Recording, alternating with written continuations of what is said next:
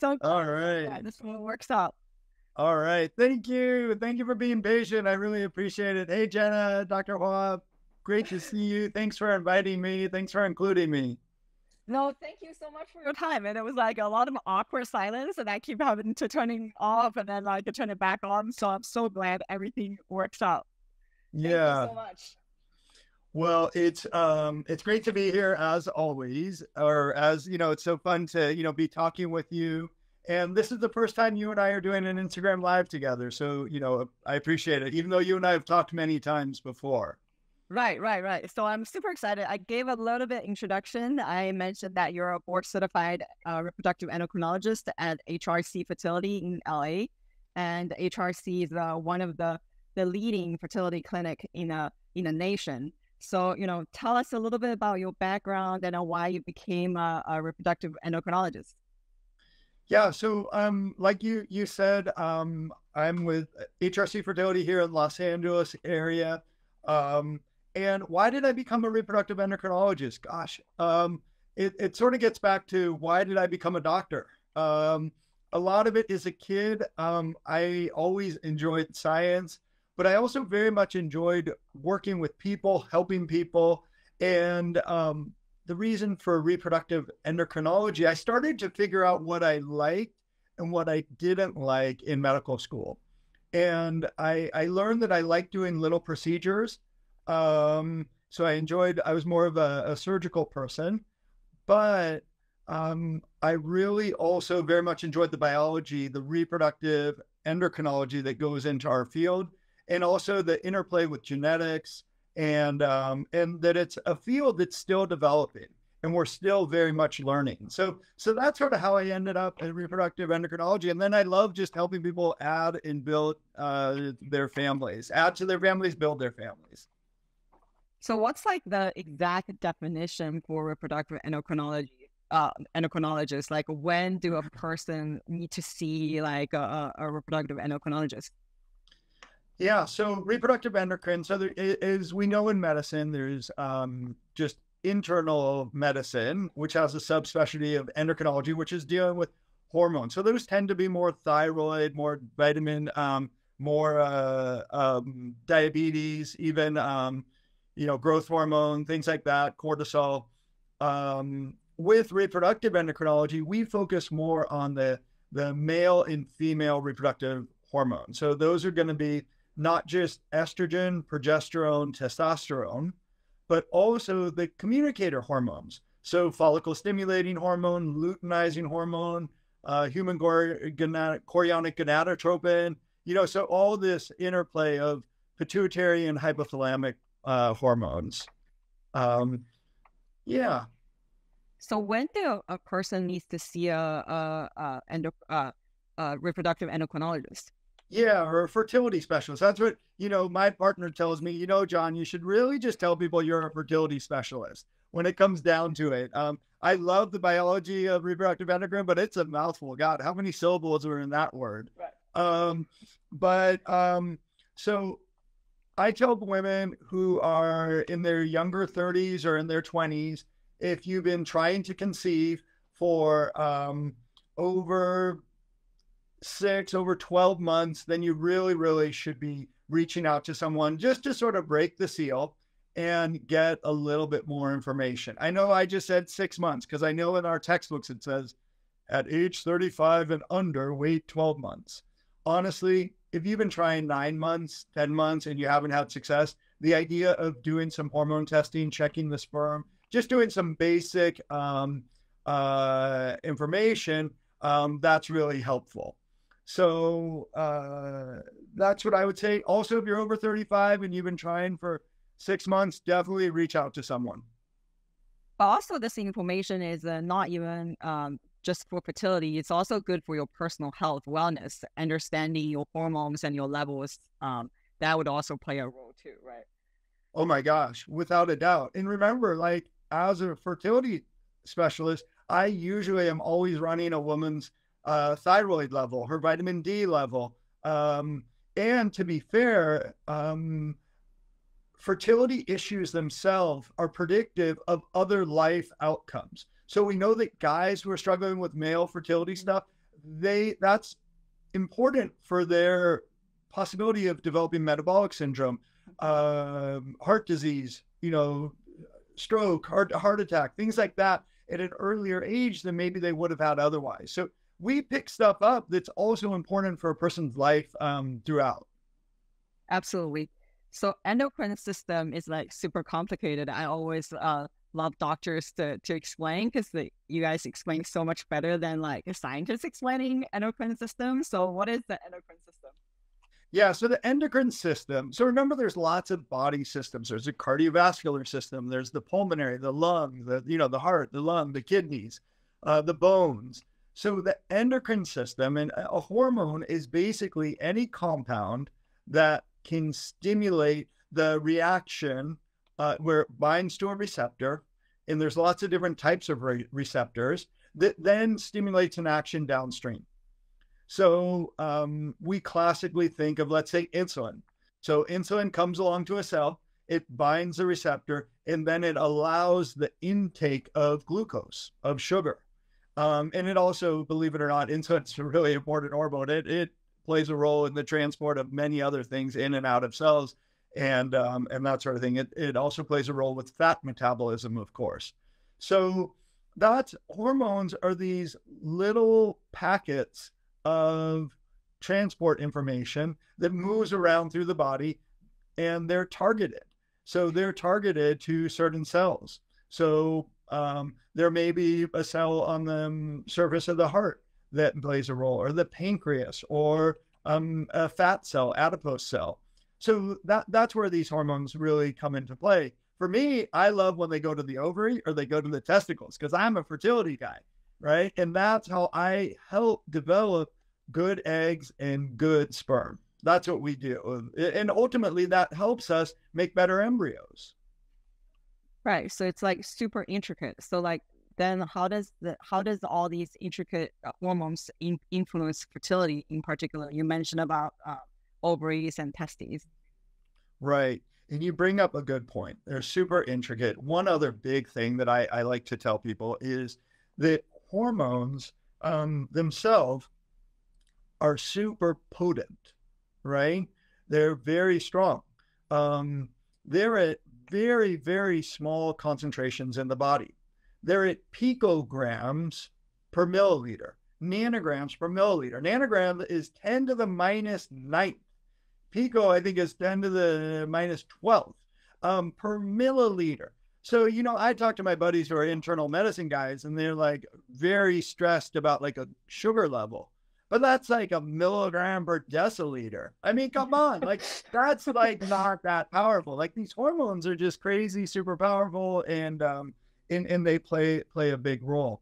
So they're hugely interconnected, though, right? And that's what I I very much love. I mean, I remember, gosh, in fellowship, and even now, I mean, within the hypothalamus, right? So it goes, you know, there's the hypothalamus, and then below it is the pituitary and there's the front part of the pituitary and the anterior and the posterior.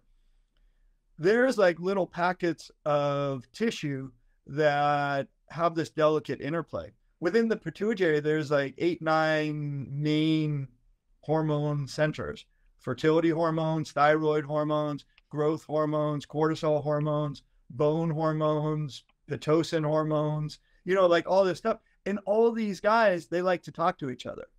So you you and believe it or not, like opiate receptor, right? People taking lots of pain medications, they will then impact each of those other hormone centers. So we know that, like, here's an example: a person taking lots of pain medication, lots of uh, stimulating the opiate receptor, the mu receptors, that men don't produce as good sperm and women don't ovulate as well as well because of this delicate interplay crosstalk within these these hormone centers. This is so incredible. And I love the analogy when you compare it to like blood sugar, like just the magnitude is so different um, for these hormones compared to, you know, blood sugar. So then how um how come everyday chemicals can become uh, endocrine disrupting chemicals? Right. So so remember I was telling you that hormones sort of move around the body, they go to the cells and things like that. So endocrine disruptors. So these are compounds that can disrupt the way a hormone works. So sometimes they're like what we call like an imposter hormone, right? Or uh, an imposter chemical. And what they do, they may bind to that receptor, right? So they're good, but then they do a whole lot of nothing. They just hang out. They don't do anything. So then the body needs to compensate for it. So then the body may rev up, let's say insulin. Let's say you have an imposter hormone, right? It's hanging out on the pancreas or, or like on a, a fat cell, a muscle cell. And it's sitting on the insulin receptor, but doing a whole lot of nothing, right? That's not good because then the way the body compensates is that it makes more insulin. And more insulin for that muscle tissue or you know fat cell, then in the body, the body starts swimming in insulin. And then insulin, if there's too much of it, can cause other problems. So imposter hormones, they bind the receptor, they do nothing. They also, these endocrine disruptor toxins or chemicals can also alter transport, how fast stuff gets in and out of the cell, or um, how slow something gets in and out of the cell. So it'll disrupt the speed let's say using that glucose example, how much glucose can sort of come in and out of the cell. Otherwise, how fast compounds are broken down, degradation, mm-hmm. right? So these darn toxins, they can also sit on the receptors, rev up the degradation process. They rev up the lysosome. That's the trash compactor of these cells. Um, or they just retain hormone, right? So, like women who really struggle, struggle with PCOS, a lot of times, remember our adipose tissue hangs on to a weak form of estrogen, estrone, right? And that's not so great because weak levels of estrogen, people become hyperestrogenic, right? And then you get other problems on the back end that we might talk about. But then if you have like way too much um, estrogen sort of lingering, then you get other issues. So if things are stored inappropriately, that's not great. And then also just the sensitivity, like how that you these these chronic low level toxins can mess up our sensitivity to hormone. Wow, that's super comprehensive. I love it. Uh, so besides the, the hormone disrupting chemical, these environmental toxins, what are other factors can also influence the endocrine system, like everyday factors? Right. So we talked about um, so endocrine disruptors, but other factors, um, uh, a person's weight, right? Let's say a person's eating super, super clean.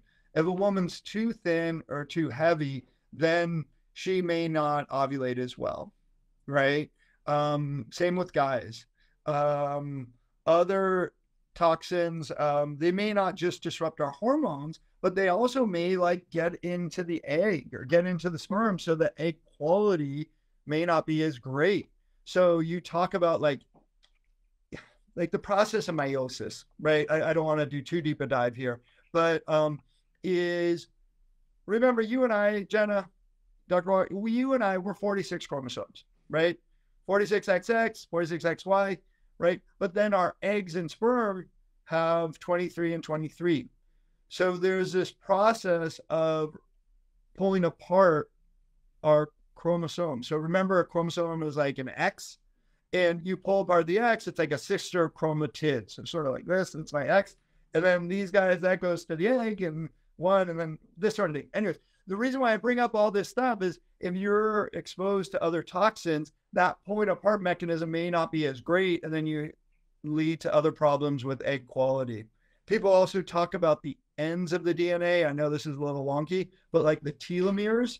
Yeah. Um, so the ends of our DNA, remember our DNA are like miles upon miles of like Gattaca. Remember that old movie from like the 80s or 90s? Like G's, A's, T's, and C's. It's like human code, right? I know all these um, computer programmers, they get all excited about, you know, zeros and ones, but I'm like, whatever, you only got two numbers. I got four, right? So, um, so the, the thing is, whoever designed humans, we protected our strands of DNA and we put these things called telomeres on. And as age goes on, as toxin exposure happens, our telomeres shorten and our DNA, when we recombine or we redevelop our cells go through mitosis, not meiosis, but we're just reproducing a cell, that it's not as great. The the nucleus doesn't um, transcribe as well. Which everything you said make it really important, especially for people who are trying to conceive, right? It's it's have to do with their egg quality, their sperm quality, their embryo quality, and which makes this imbalance of the hormone become super super crucial. That we actually want the hormone to be balanced. Without a doubt. I mean, I remember one of my mentors would would say, you know, having a period is like another vital sign because it's this delicate interplay between um, hormones in our pituitary, uh, you know, in our brain, talking to our ovaries, talking to our uterus. So it's not an easy thing to have a regular period. And um, and then when we, you know, it's hard enough as it is. And then if we start adding in these other insults, then it, it gets that bit more tricky. Right.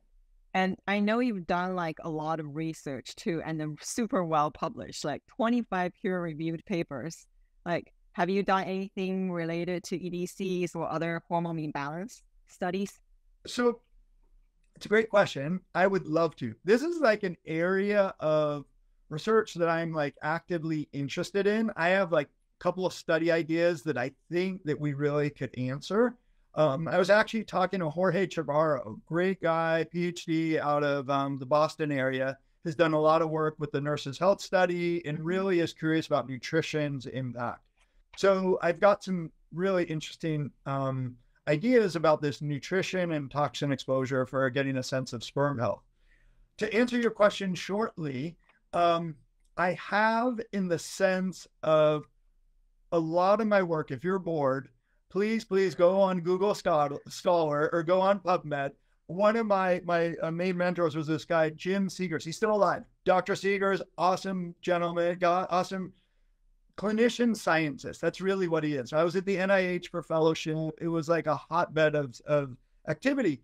In what we are looking at is uterine fibroids and looking at the sub, subcellular signaling pathway. And what we were looking at is the extracellular matrix. So fibroids are these fibrotic conditions where we think that things get dysregulated and the cell starts pooping out, excuse my language, more fi- more fibrous tissue. And then the the outside, this the extracellular matrix gets totally disorganized. And then you just have all this fibrous, fibrous, fibrous material around it. And people in our lab were looking at things like curcumin. They were looking at um, uh, resveratrol. They were looking at nutritional supplements that may play a role in fibrosis. We were looking at it from a mechanical point of view. Um, and so, so I have a better sense of like TGF beta 3. Um, we were looking at some of the fibroid stuff from um, like anti-inflammatory, decrease inflammation, cause less fibrosis. So anyways, it's sort of interesting. Anyways. No, it's super interesting, and it's also very actionable. Like because once you study the mechanism and then you you figure out the solution, then women with fibroids and they could have solutions. You know, either increasing resveratrol or other supplement intake could help them. So this is this is super exciting. Yeah, yeah. I I wasn't doing that myself. Other people in the lab were, but but it, you know the really fun thing, Jenna, is people are you know I was in medical. You know I'm an MD Dr. Seeger, MD, but we had some cool ideas. And Jim, myself, we're curious people. And um, now we get the backbone of industry sort of following up on some of our like our mechanical studies. And it's really cool because there may be um, other things we learn. And that's why funding research and NIH and things like that, grants are just so important. So I'm going to leave it there, but uh, love it. Love it. Um, because in your bio, you also mentioned you provide high level individualized fertility care for all. So, what does that mean to you? I know I already know what it means but I want you to explain it. Yeah, no, I mean, what it is is you have a dedicated doctor or a dedicated nurse guiding you through the process. So, walking the walk of fertility is no fun, right? So, I do night essentially all my own egg retrievals, my own transfers. Um, we have a wonderful team of coordinators here guiding you through the process, um, setting up calendars, supporting you, and um, and things like that. I myself, I'm sort of chatty, so I sort of narrate as I go. So you have an idea when the doctor, when me or our technician, when we're doing the ultrasound, you know what we're thinking, right? And part of the reason why I was a little late today, and again, I'm sorry, is I was doing a lot of ultrasounds this morning. So that's where, um, you know, uh, and, and, I think what, what I was just mentioning is that's what drives our success rates, right? Mm-hmm. Having a dedicated person, not having as many handoffs, I think we do better with patient care because handoffs, even like super smart doctor to super smart doctor, stuff may not get uh, transmitted as well. I totally agree, and I love the explanation part because uh, I always remember going to doctors. They don't talk. They don't let you know what they're thinking, and you keep thinking about what are they thinking, right? And especially during procedures, and you don't see it, you don't feel it. So I, I, I think many patients would really appreciate that you're explaining as you're going through and doing the procedures. Right. Even at the initial visit, I make it. I'm a real nutrition wonk, and I, I talk to people about that. You know, at graduation, the one little thing I just want to sort of mention is, and, and I'd love to get your thoughts, is um, we talk about ways to sort of clean up our lives, right? And especially when you're pregnant, because a lot of human tracts, that remember the genital ridge is formed typically between six and nine weeks, right? So that's ovaries and testicles are being formed around that time. I mean, of course, not completely, but some of the basic machinery is. Mm-hmm.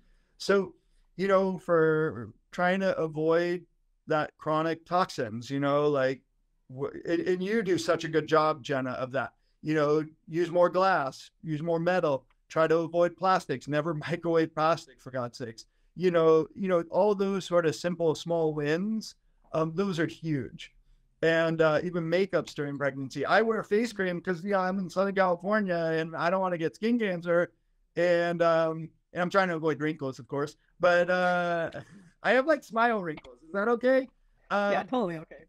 And um, but but again, you know, you just try to choose better products. And the part of it when you're growing a human inside you, that potentially will decrease future disease for that baby. It's it, a lot of this came out of um, something called the Barker hypothesis, and um, and that is now really giving us a lot, a lot of insight into chronic low level toxin exposure. Super well said. Um, so, what's a, a potential patient uh, start onboarding with you look like? How do they how do they come to see you? Yeah, so basically, you just give a call to our office. Um, we have an eight six six number. Um, gosh, what is eight six six? What is it? HRC for IVF. I, or you um, call one of our offices and you schedule an appointment with me with Dr. John Norian, and I'm with HRC, of course. And uh, and then we set up um, ideally an in-person visit or a video call. We take care of people from around the world, and um, and then we start making a plan we talk about wellness, we talk about lifestyle, and we talk about how are we going to generate the best quality egg, sperm, and embryos, and ultimately just get you pregnant as soon as we can. Because I know that when people walk in or before they schedule the appointment, they want to be pregnant yesterday. So we we get that.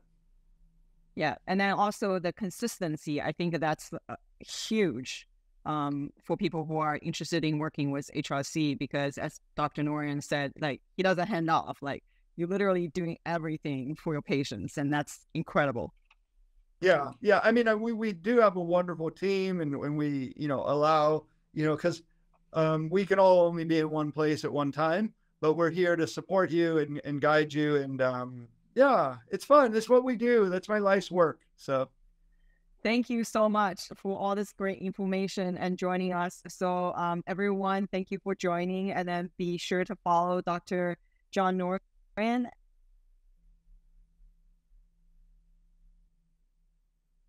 You cut out. I can't hear you. Perfect. It's like, yeah, there you go. But that's okay. Thanks so much. You know, Jenna, one thing for you, because I know you guys at Million Marker have an awesome product. Patients are, you know, starting to use the test and getting reports back.